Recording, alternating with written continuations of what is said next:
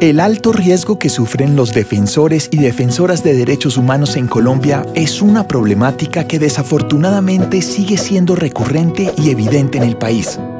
Pero, ¿qué sabemos concretamente de la situación que enfrentan las mujeres defensoras?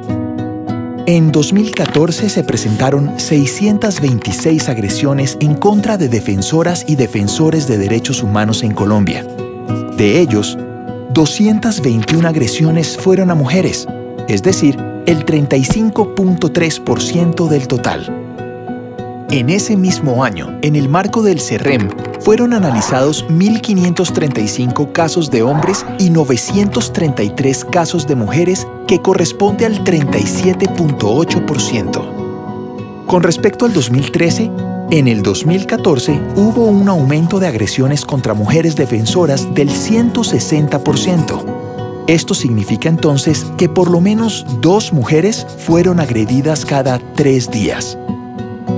Esas mujeres que podrían ser María, Blanca o Yuri como resultado de los riesgos de seguridad que enfrentan, sufren diversos efectos sociales y emocionales, que son diferentes a los que los hombres atraviesan en tales casos. ¿Por qué? Hay que considerar que las lideresas viven de por sí en una sociedad en la que hay inequidad en el goce de sus derechos.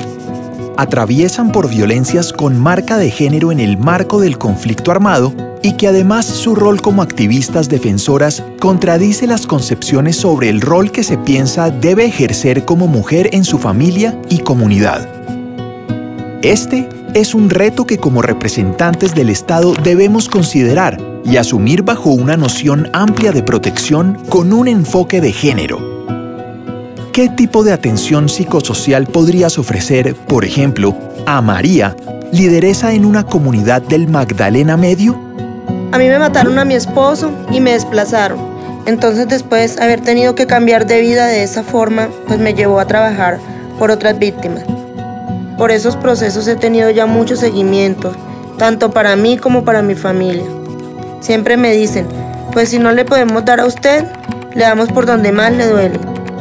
Cuando se meten con nuestras familias es como amenazarnos desde el vientre. Ayer mi hijo me dijo, mamá, ¿usted qué piensa? ¿Que nos maten a todos? ¿Por qué no deja ya ese trabajo?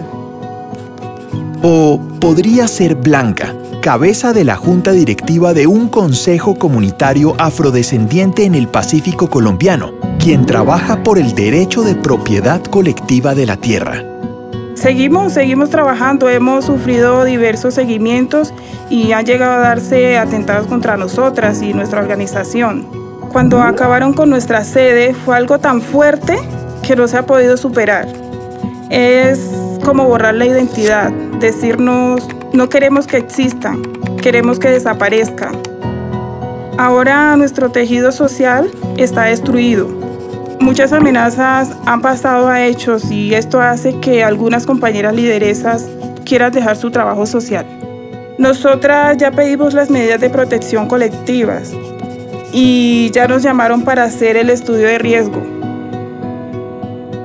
Oyuri, quien tras llegar a Bogotá desplazada, decidió crear una organización con otros líderes víctimas del Cauca para apoyar los procesos judiciales y de reparación a las víctimas.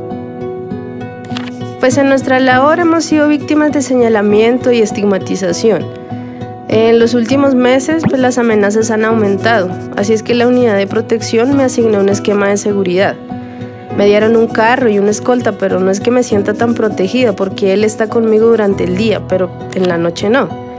Además, como ahora en el barrio me ven con el escolta, me preguntan que si ese señor es mi familiar o mi amante o qué, porque para donde yo vaya, a cualquier parte tengo que ir con él.